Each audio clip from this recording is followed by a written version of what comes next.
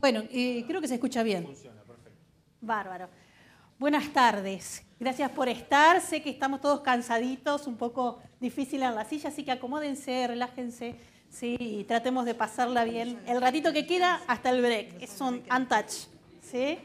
Y gracias, gracias a la gente de Azoy, gracias por esta invitación y por abrirnos las puertas a que realmente podamos trabajar juntos.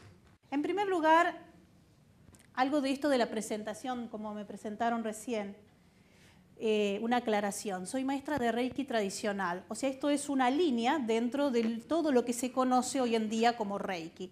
Hago esta aclaración porque eh, en este momento, lo vamos a ver después más adelante en esta pequeña charla, la palabra Reiki abarca una variedad de técnicas que realmente eso, son muy diversas, son muy variadas. Entonces, bueno, la línea de la cual voy a hablar es esta, que es la tradicional. Y las preguntas que nos hacemos durante esta charla es si es efectiva como ayudante en los casos oncológicos eh, para tratar el dolor, si es segura y si existen eh, estudios científicos que puedan avalar el trabajo con Reiki.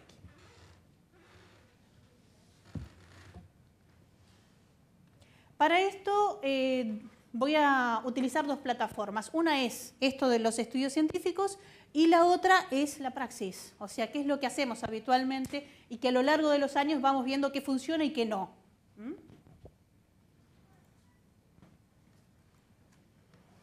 Para aquellos que no tienen conocimiento sobre el tema, les cuento que Reiki es una terapia perdón, que eh, fue descubierta en Japón por un, un, pastor, un pastor cristiano, que se llamaba Mikao Usui. Allí está en el centro. No sé si tengo puntero. Bueno, eh, allí está en el centro y... A ver, eco, ese. ¿Sí? Sus alumnos a principios del siglo XX, ¿sí? O sea, de esas líneas de las que estamos hablando. Como terapéutica, o sea, ahora vamos a centrarnos en la parte terapéutica del Reiki, pero como van a ver, digamos, es una parte muy pequeñita dentro de lo que es el Reiki.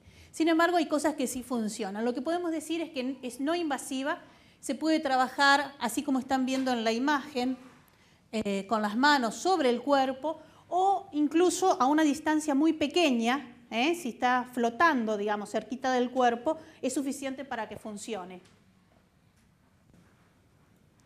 Por lo tanto, incluso ni siquiera se necesita tocar. ¿no?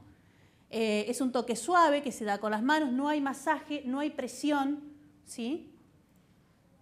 sin manipulaciones, o sea, no hay movimientos de la persona, salvo, digamos, darse vuelta para poder eh, trabajar en la parte de la espalda y demás. Incluso en los pacientes que eh, no se pueden mover, que están acostados inmovilizados, se trabaja metiendo las manos entre las sábanas, de modo que eh, se puede dar de cualquier manera.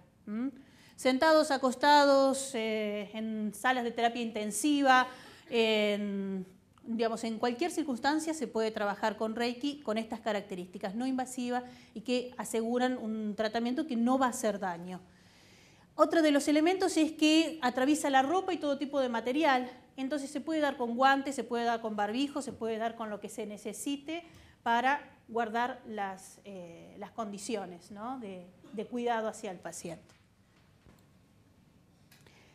Lo que produce fundamentalmente es relax, relajación, un estado de relajación muy profundo que eh, no es inducido, no se hace con la palabra, no es algo que yo voy guiando una relajación, sino que se produce por sí mismo por el trabajo que se hace.